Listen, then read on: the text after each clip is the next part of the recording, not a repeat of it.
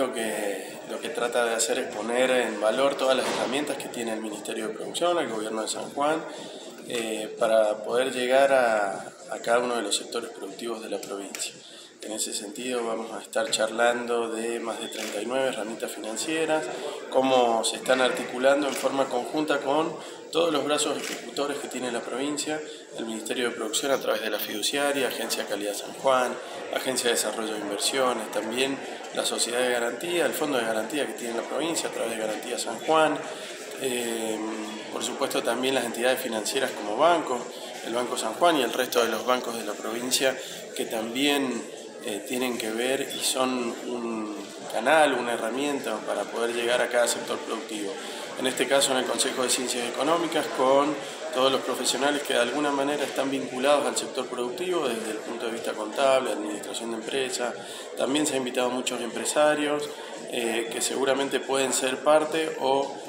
o sea, son empresas que pueden tomar crédito en forma directa o también personas que están asesorando a empresas y que pueden acercar estas herramientas financieras para contribuir con los objetivos que tiene la provincia, ¿no? Tratar de disminuir el desempleo, hacer crecer el Producto Bruto Geográfico y que tengamos mejores oportunidades para todos los sanjuaninos. ¿Cuáles son las herramientas de esta que mencionó, tal vez las más destacadas? Bueno, tenemos distintas herramientas para distintos sectores. Eh, hace exactamente un mes el ministro Culfas estuvo anunciando 3.500 millones de pesos. Ahora vamos a contar cómo se estructuraron las herramientas y se pusieron a disposición del sector productivo, algunas herramientas que van dirigidas al sector de frutos secos, otras al sector hortícola, con, con subsidio de tasa doble por parte de Nación, por parte de provincia, y que hacen que estas herramientas tengan una tasa que normalmente está por debajo del 50% de las tasas de mercado.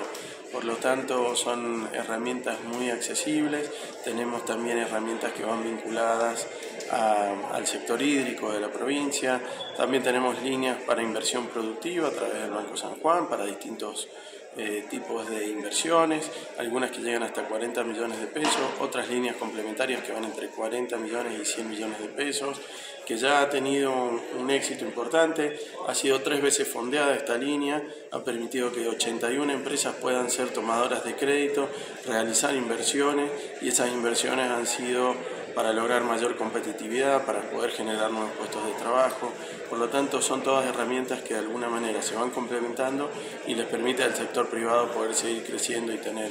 una mejor rentabilidad en cada una de sus empresas.